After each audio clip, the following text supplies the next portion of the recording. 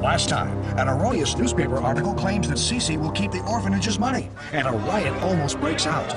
Counselor Zatornik and Helena entice Arcus to finally rid them of Sissi. Finally.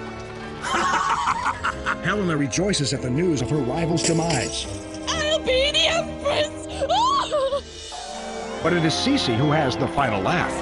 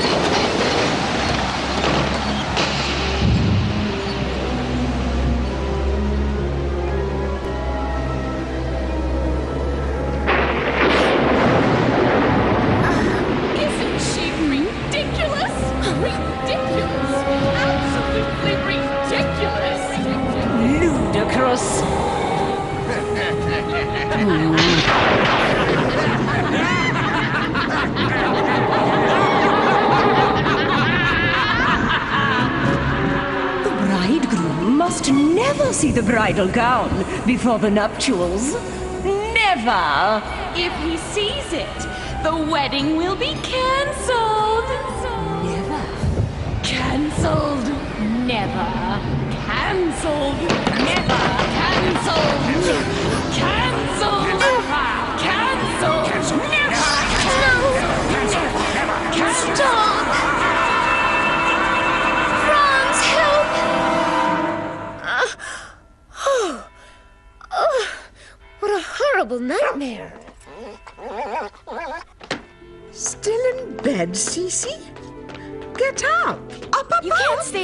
A day like this.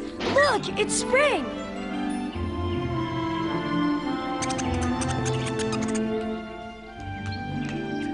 Ah, they're unbelievable. Come along, Sissi. The prince and the empress are waiting for you. It must be about your wedding. My wedding! Oh, that's right. Can you imagine that it's only in a few more days? I can hardly believe it. And don't forget the couturier. He's coming for the fittings this morning. The sacred Habsburg tiara. A singular creation of the jeweler's art, one of the most precious in the world. I wore it at my wedding, as you shall wear it at yours in one week's time. It's magnificent. No, only members of the imperial family are entitled to touch the sacred tiara. And you're not yet part of the imperial family, the Princess Elizabeth. Wait a few more days and you can wear it when and where you like.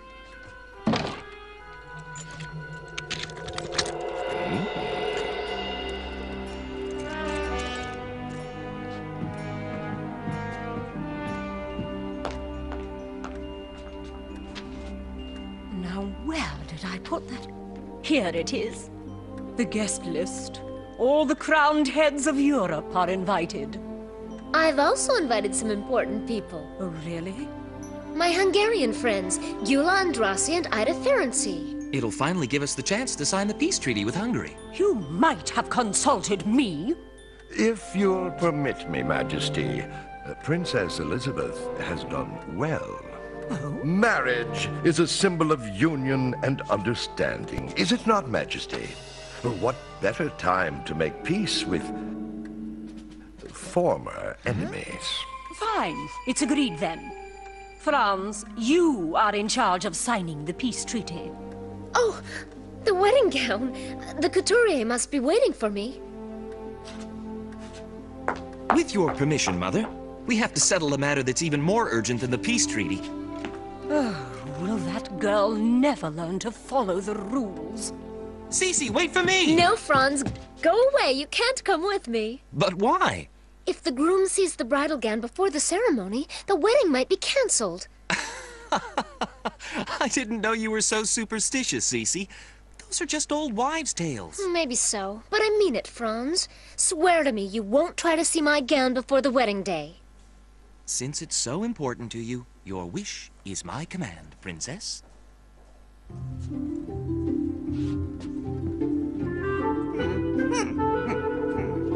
Princess, I beg of you, don't move a muscle.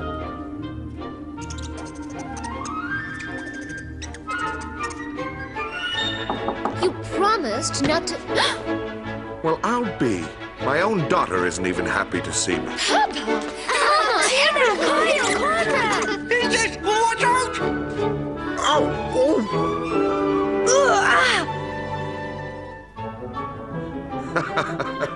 Poor Franz. Little does he know he's about to marry a porcupine. See, Miss Lucy, this way Sissi won't need bodyguards at her wedding. Simple as that. I'm so happy to see you both. Come on, you guys! I'll show you the secret corridors! There's secret corridors? Wow! Princess! Mm-hmm. I have to finish the fitting.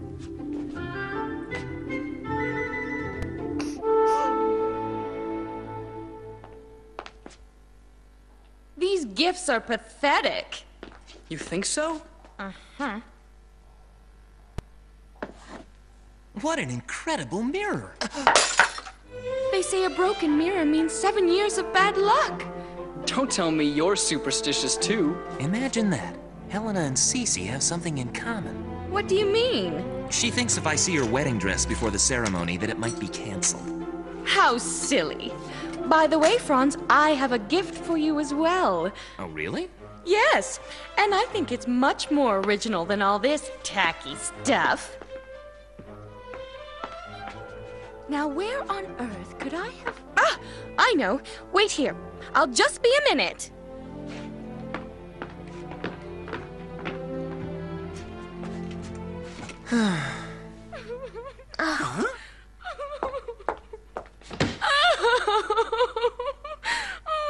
Helena, what is it?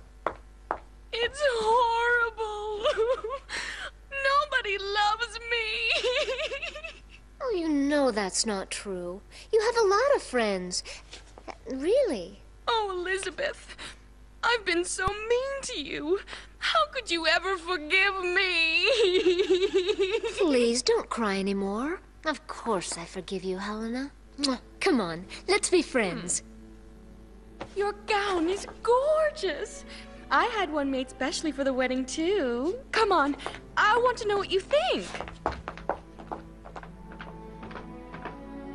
Franz! Sissi! Oh. Sissi, wait! So, did you like my gift? I really pity the man who marries you. He'd be better off with a tarantula. A tarantula? What's a tarantula?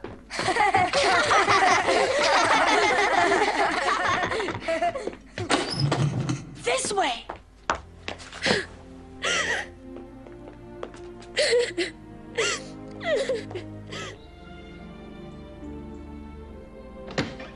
Sissi told us everything. Boy, is she upset. So am I. I can't believe I let Helena trick me like that. Sissi thinks you did it on purpose. You gotta be careful with that faker, Helena. Come on, Franz, don't worry. I think I have a great idea. Listen, where are you taking me? Don't worry, you'll see.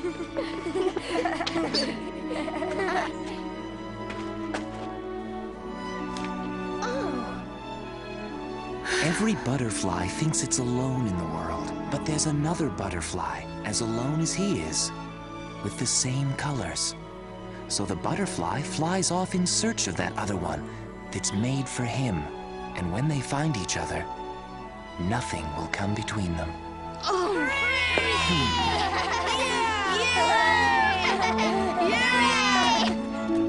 Simple as that. Halt! We're invited to the wedding of Princess Elizabeth. But you're Hungarians. Well, here's our official invitation, if you can read. Fine, you may proceed. Hungarians? It's Schönbrunn? Oh, I've seen everything. Ah! Well, can I get in? Oh, well, the prince and princess are certainly inviting some strange characters to their wedding.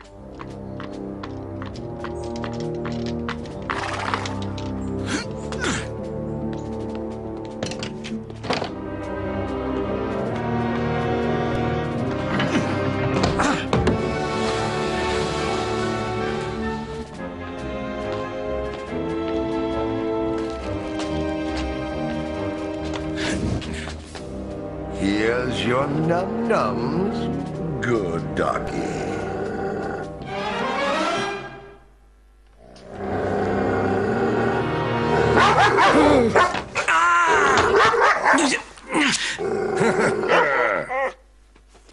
Oh, demon, get off! Count Arcus, what fair wind brings you here? Now, now, demon, leave our good friend alone. You betrayed me like a coward, Zatornik.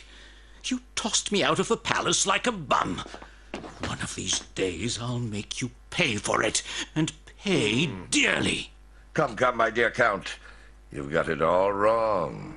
What in the world have you got on? A Hungarian getup, if I'm not mistaken. You're giving me an idea, Count Arcus. A good, a very good, an excellent idea that ought to get rid of our common foes.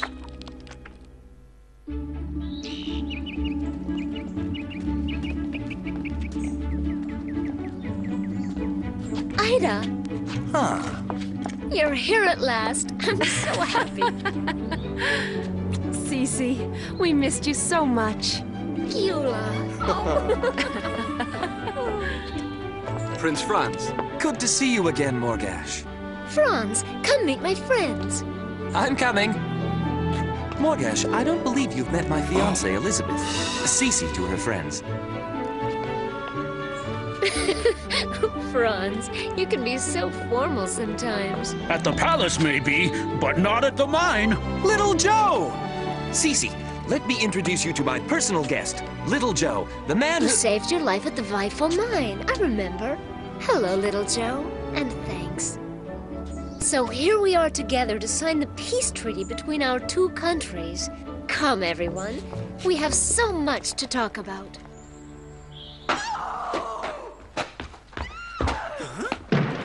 What's going on? I'm so miserable.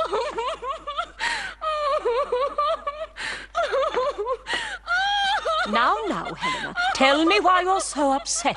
Sissi is getting married, and I, I'll end up an old maid. Oh, if that's all it is, I have the perfect husband for you. What do you say to marrying Prince Carl? Prince Carl? Why, yes, of course. It's a wonderful idea. I've been wanting to see you two together for so long. We'll announce your engagement at Franz and Elizabeth's wedding. There, Helena. Feel better? M- much better, Majesty. Dry your tears and make yourself pretty for the ball. I'll go tell Carl. Oh, I can see his happy face already. Marry Helena.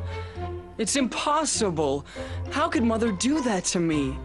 What have I done to deserve such a fate? Listen, Carl, life with Helena won't be as unhappy as all that. Provided that you compliment her until you're blue in the face. Carry her on walks so she won't dirty her boots. And listen to hours of incomprehensible war stories from Marshal von Grossberg.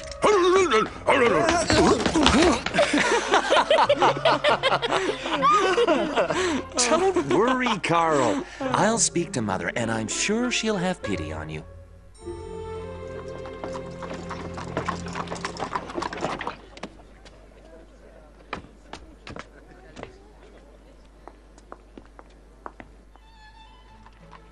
Their Majesties Napoleon III, Emperor of France, and Victoria, Queen of England.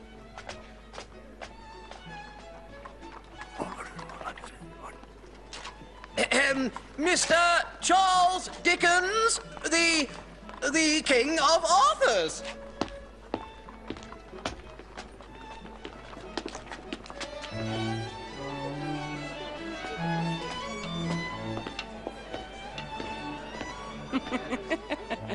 Your Majesty, could you grant me a favor?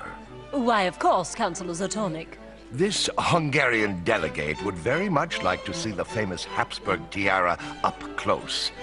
A childhood dream. Ah, what I won't do in the name of peace and childhood dreams. A thousand thanks, Majesty.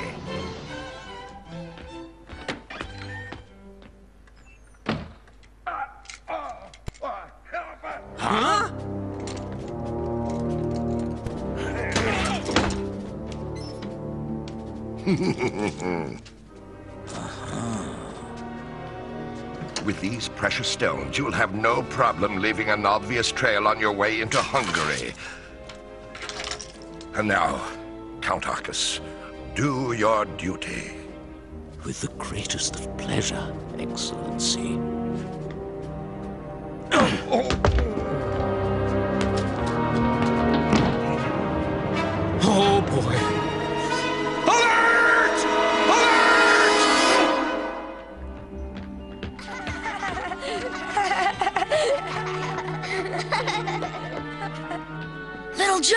would you mind giving me a lift up? Tiara? Gone? That's impossible. Tell me it's not true.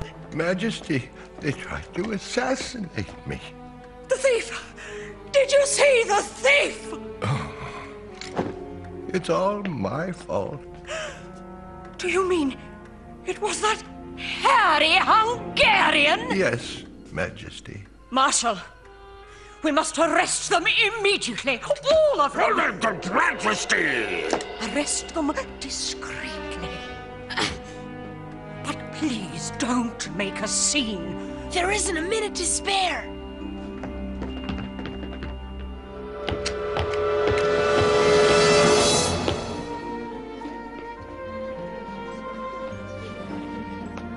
Huh? What is it, Tommy? We have to warn the Hungarians, Duke Max. They might be arrested any minute now. What? No time to explain. Please hurry. Too late.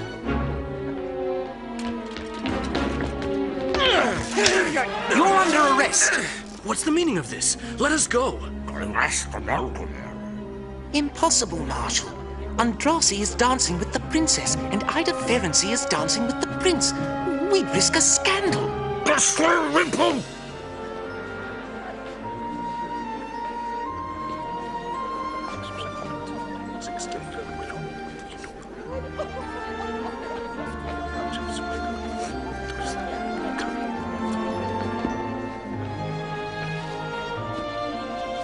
Oh.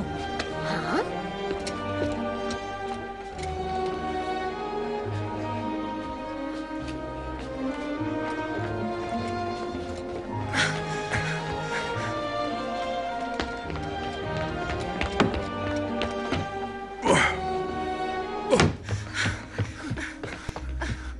I can't abandon my comrades. You can't do any more for them, Andrassy. But don't you worry too much, my friend.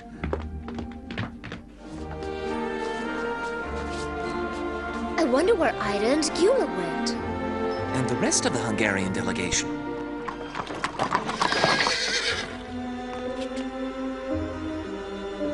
Now what's going on?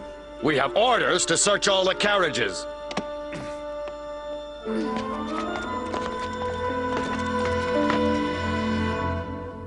It's impossible. The Hungarians would never attempt that kind of heinous crime. The very night the peace treaty was going to be signed?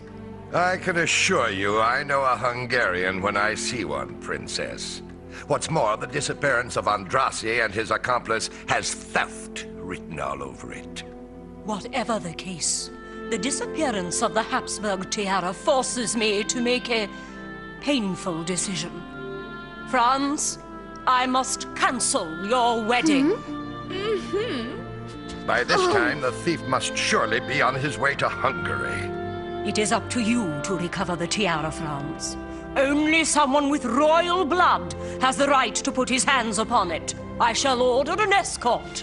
Forget the escort, Mother. If I have to go into Hungary to get the tiara back, I must go in disguise, and without soldiers. Otherwise, it'll look like an invasion. But I could go with you, Franz. Together we'll double our chances of success.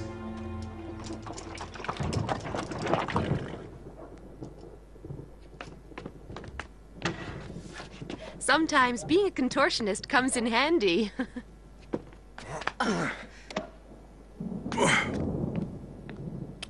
Well, Max, here we are. Outlaws once again.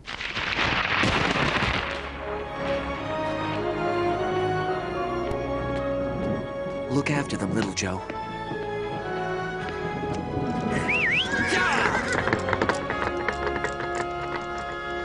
Come back to me soon, Franz. say I am just too bold. And I can ride horses like the boy.